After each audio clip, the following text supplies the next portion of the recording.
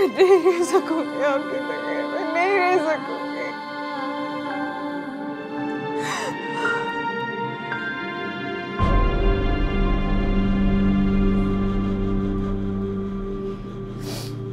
सब उस रिदा की वजह से हुआ है।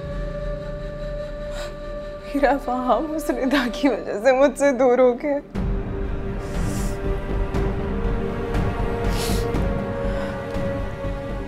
मैंने भी अगर रिदा का घर ना उजाड़ दिया, मेरा ना भी शमीला नहीं फाहम